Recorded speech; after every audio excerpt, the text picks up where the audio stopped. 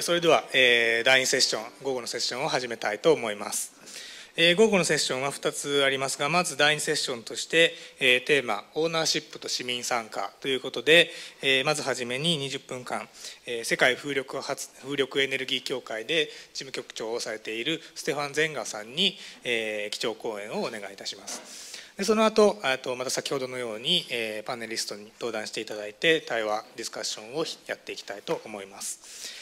えー、それではまず簡単に、えーと、スピーカーのそ、えー、ステファンさんのご紹介しますけれども、えー、ステファンさんは、えー、世界風力エネルギー協会で事務局長をされておりまして、まあ、世界の風力発電の普及発展というのを、えー、リードする役割を担っておられます。で世界風力エネルギー協会は、えー、毎年、えー、世界風力会議というのを開催していましてその中で、えーと、一つ重要なワーキンググループというかセッションというか、えー、グループがいましてそこで、えー、コミュニティパワーということを、まあ、世界中の経験なり、えー、実績というのを共有して、まあ、これから先その地域で、えー、民主的にデモクラティックに、えー、自然エネルギーを増やしていくそのためにはどうやったらいいのかどういう考え方なのかってことを、えー、まああのいろいろ議論しているグループがあって、まあ、そこのところにもコミットされています。というわけで、えーと、最初の、えー、スピーカー、えー、ステファン・ゼンガーさん、えー、講演お願いいたします。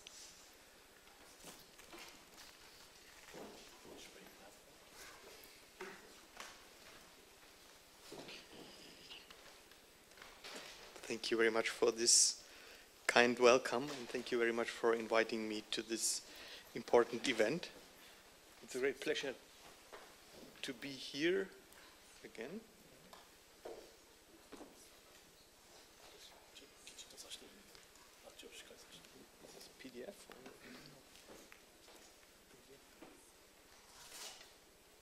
What's that?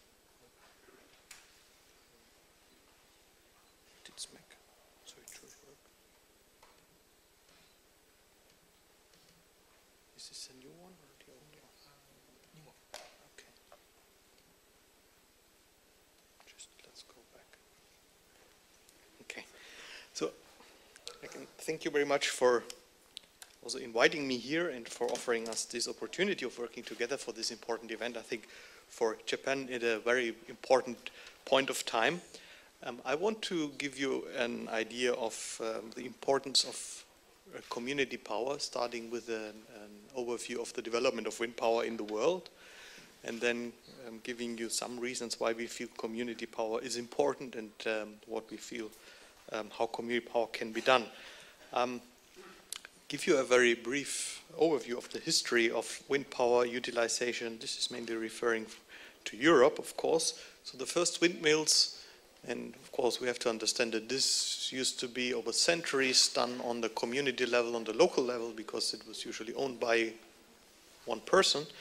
Uh, uh, the first windmills came to Europe from the Arabian countries in the 12th centuries, and they, they distributed over all over Europe so that in the end of the 19th century, there were 20,000 windmills around in Germany and 200,000, that's a rough estimation, in Europe.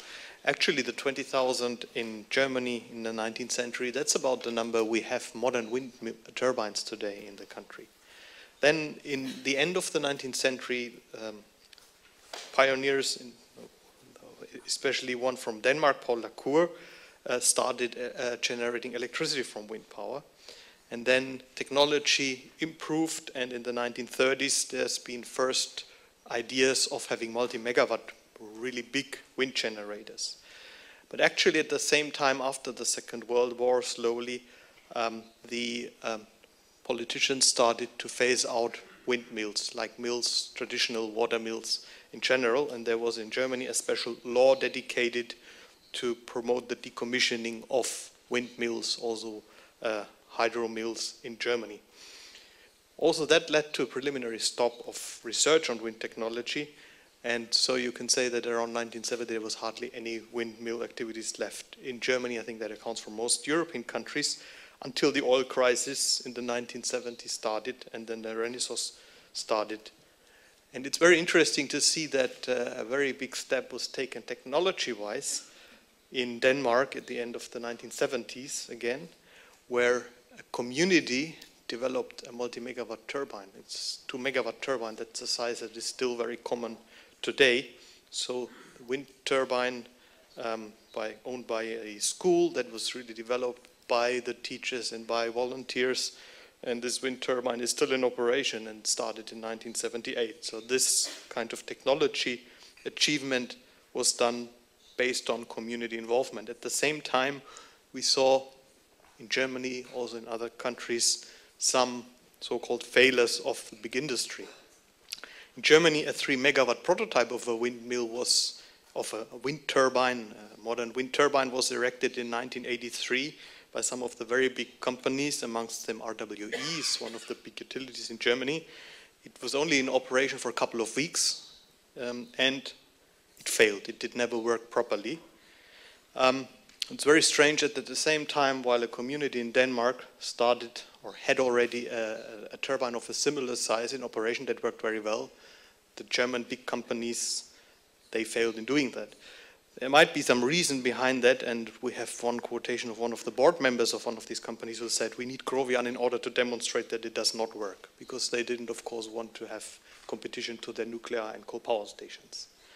Um, I found a very interesting also um, piece in a, in a so-called renewable energy museum in Italy, where you saw, uh, you can see a 55 kilowatt turbine also developed in the 80s, developed as you can see by Fiat, very big company, together with Enel, big utility.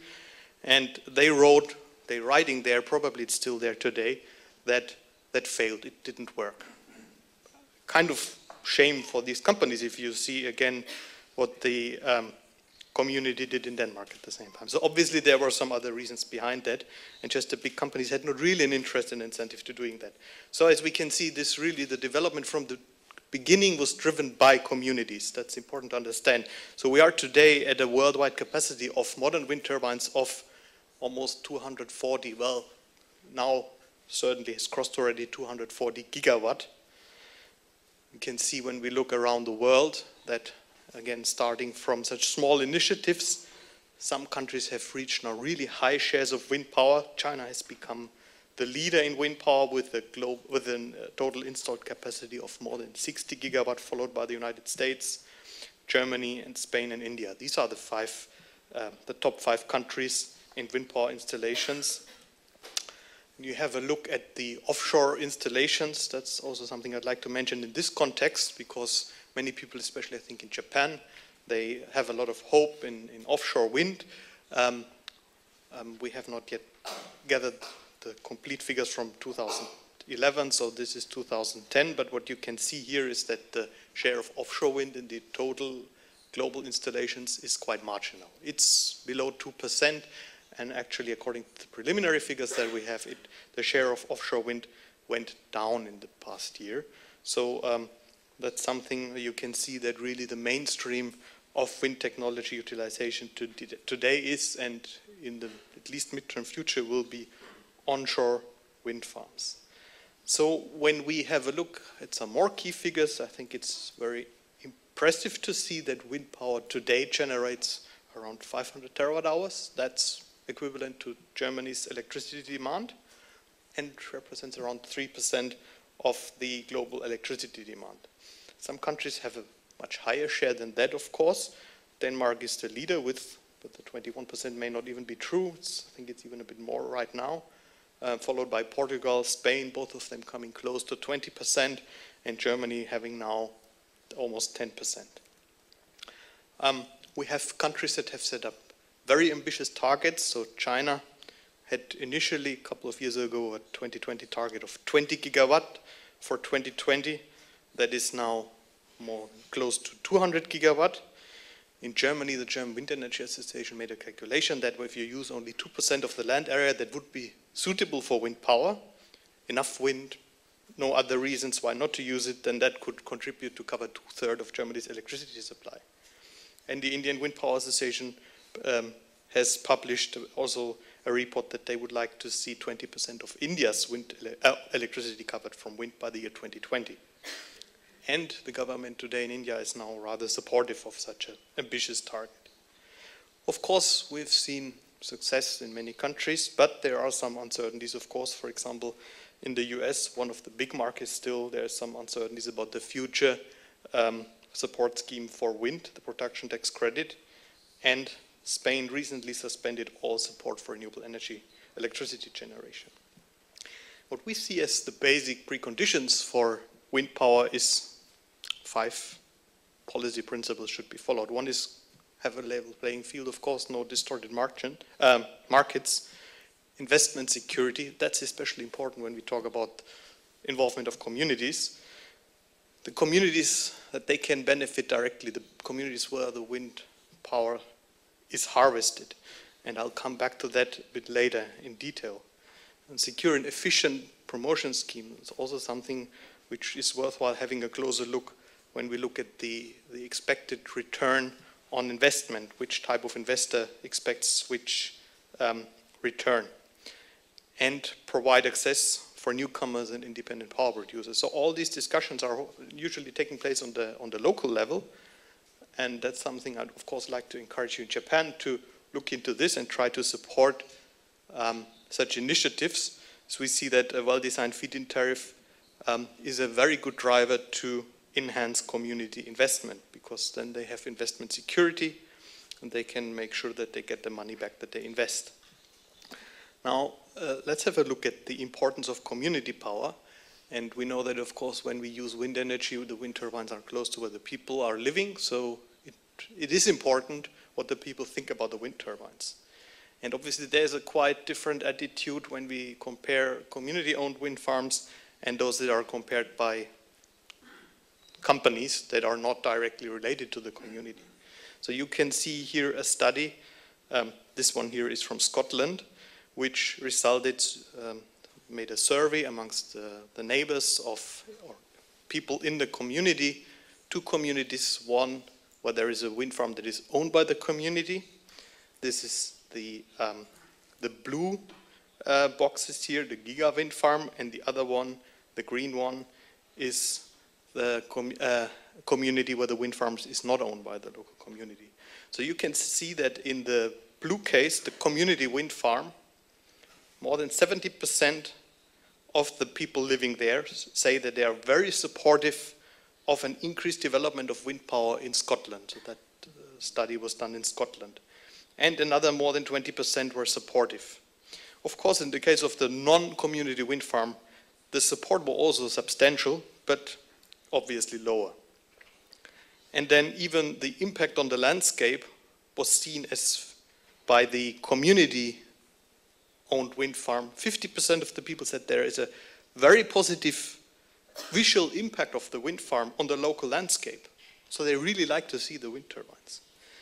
Similar study done in Germany, again, two communities, one owning the wind farm, the other one um, not owning the wind farm.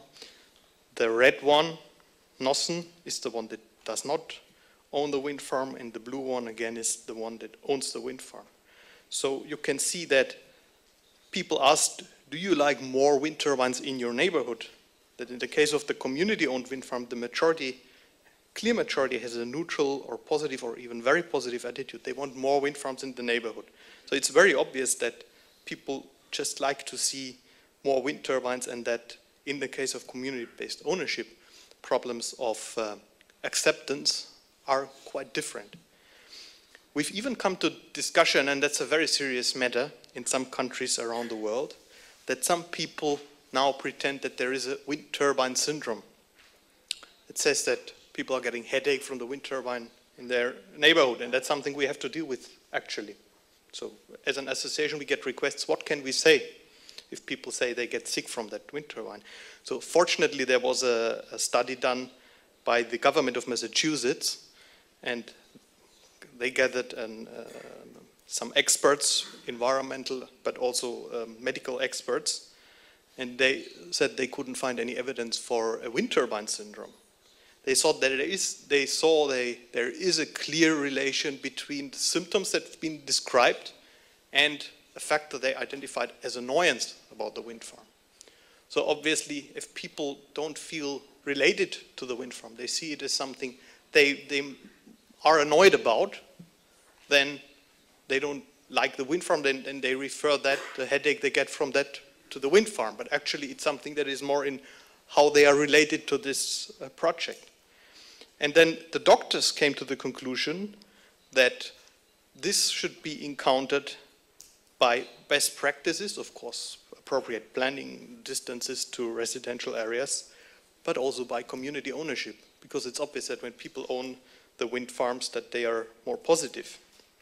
So what we can see now, there are some parts of the world where it's really a mainstream model. Denmark, well, there's estimations of around 200,000 families owning wind farms. Germany, their shareholders, more than two to 300,000. There are many countries now in the world which have started to look into community power.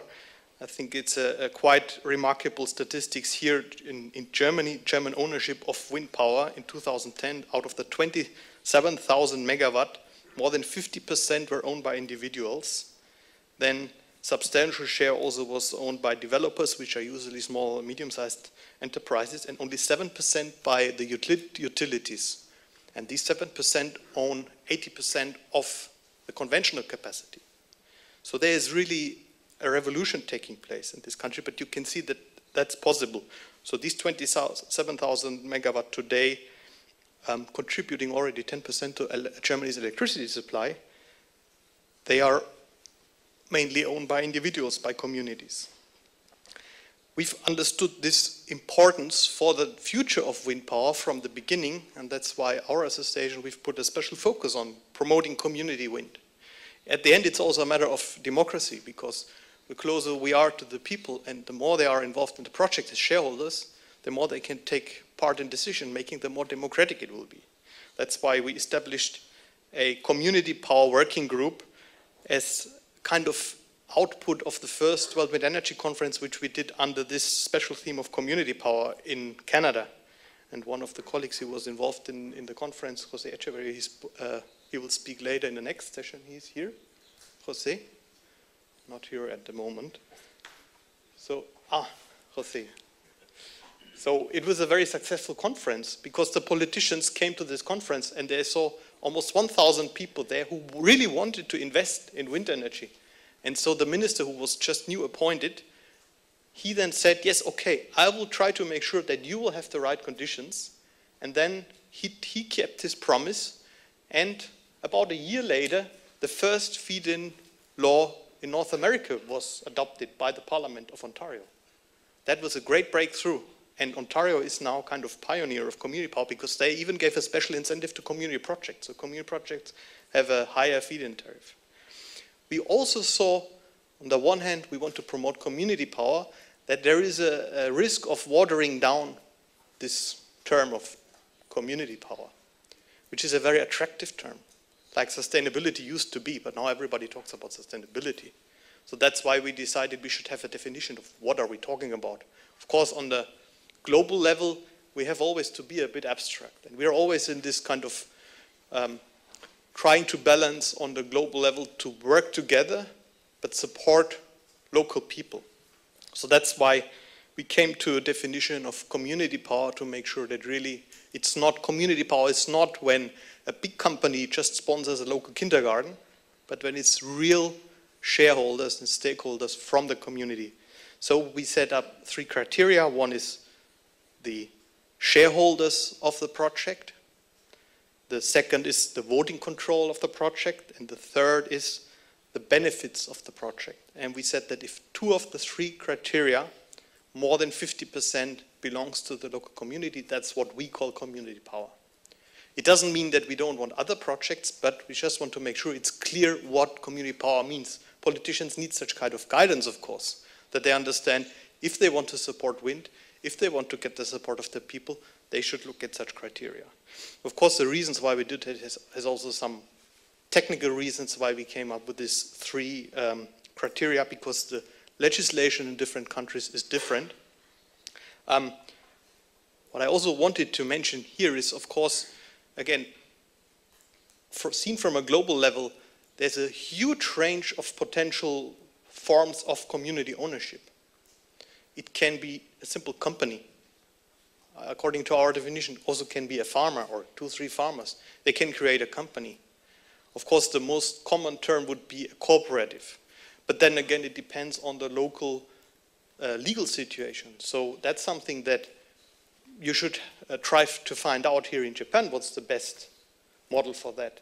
And uh, I know there is some experience here, so it's very important, of course, to create the necessary networks and talk about exchange information, which models are working well. I'd like to refer you to our next World Wind Energy Conference, which also will reflect a lot what's the current status, and I see this as a next step after the 2008 Community Power World Wind Energy Conference that we had. So we will have the next community power, citizens power, we called it, to make clear also that there is an, an aspect of citizens' rights and democratic decision making involved.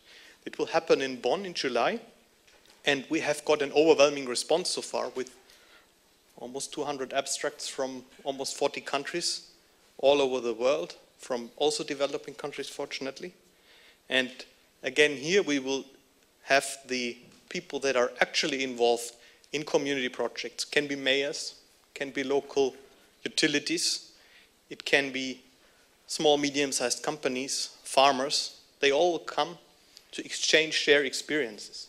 I think this is really key, that we create the networks without centralizing too much, that we create the networks that we can assist each other, that we can help each other, and then make it a success, mobilize the people, and then at the end lead to a cleaner, more sustainable, and also more um, democratic energy supply, which will also be safer, not only in environmental terms, but also in terms of for the economy. Local resources are always available almost everywhere, and if you use them, then it's good for the whole society. Thank you very much for your patience, and I look forward to the discussion. Thank you.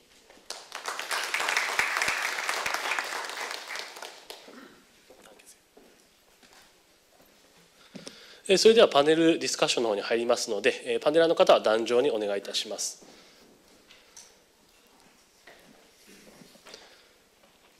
Na Stefan, bitte gehen da.